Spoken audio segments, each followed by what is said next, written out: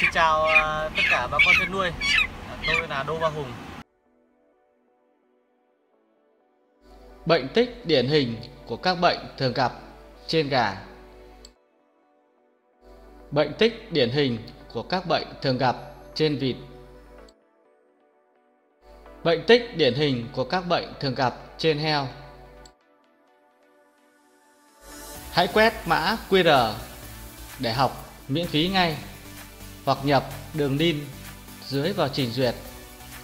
Hẹn gặp lại các bạn tại buổi học